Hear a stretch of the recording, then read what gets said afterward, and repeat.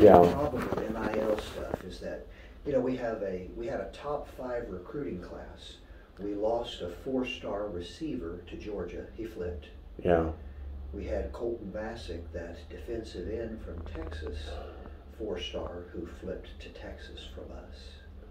We still have the the quarterback from Yeah, Denton. We, we still have Jackson Arnold, and he doesn't seem to be wavering. Yeah.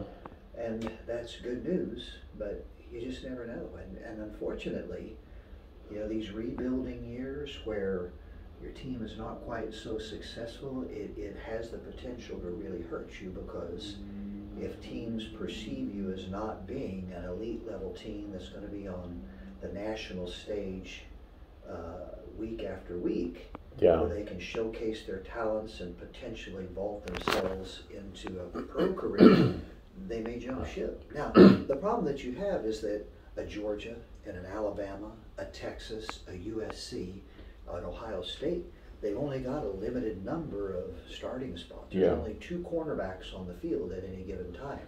There's only two or three wide receivers. There's only one tight end, maybe two if you have a And, and geography doesn't come into play like it used to. There's not that much loyalty to the state. no. And oh, you cannot just especially with the NIL contracts. Yeah. they'll go, It's you know, crazy. we lost that five-star defensive lineman. I had, Yeah. I had Yeah. a rep that had a, a good friend with inside knowledge that that number one defensive tackle in the country was a lock for Oklahoma. And then all of a sudden, he got offered like a six million dollar NIL contract. to A and M. A and M or Yeah. something like that. Yeah, Yeah. he went. He went there. Well, Jimbo Fisher, that's not panning out too well for It's them. not panning out too well for them. They had the number one recruit this past year, and they're very middle of the road. I, I just, you know, I, I, I thought we'd do better than this. I knew there may be a downturn, but I didn't think there'd be a downturn forty-nine to nothing to Texas.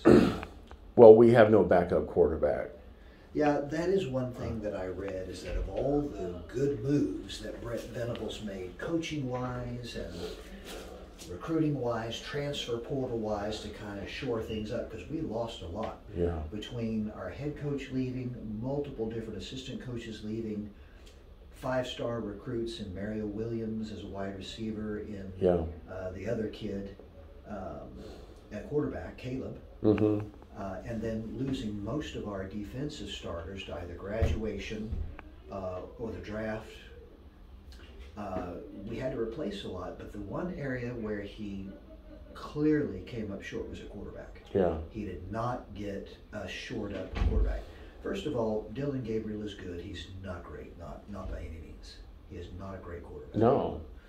Um, and then anything behind him is barely better than a high school quarterback. There's a Flower Mound quarterback that's supposed to be really good, but I talked to his coach, Uh-huh. um, his middle school coach, and he said when he gets hit, it's not a pretty sight. He he's he's really his parents are very plugged into networking and getting him into the right camps, and they really umped his marketability. Yeah. But he is not the quarterback that a lot of He's not a people know.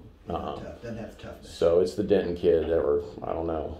you know what what we need is a team full of Brent Venables, guys that maybe aren't the fastest, aren't the strongest, aren't the most physically gifted, Yeah. but just blue collar working guys that can think on their feet, work within a system, and play with discipline and play with heart, play Yeah. with toughness. That's what we've got to have. And, and I have faith in that Dabo Swinney coaching tree, mm-hmm. Um, building the character, not the Jimbo Fisher. Let's, let's just make it happen right now. Yeah. But and parents are gonna. That's gonna eventually. People are gonna understand that, and they're gonna. And you know, of course, Brent Venables grew up with that. Not only was he an overachiever as a player, but he coached under Bill Snyder. Bill Snyder chronically took two and three star talent and made Yeah. it into national contenders That's right. every year at Kansas State. Yeah. You can't recruit to Manhattan, Kansas. No. You take what you can get and you develop talent.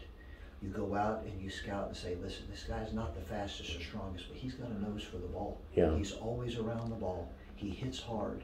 He plays every down with grit and with discipline. That's the player that I want. That's the player I need on my team. We were at the game against Baylor, and I saw people leaving in the third quarter to a team we lost by a field goal. So Yeah. our fans are so spoiled. So. They're so fickle. Yeah. it's crazy to call for this guy's head. I mean, give him two years, but yeah, I've got faith. Come on, hang All right. right here, Ken will get you. All right. Okay. All right. one month with x-rays. Uh huh.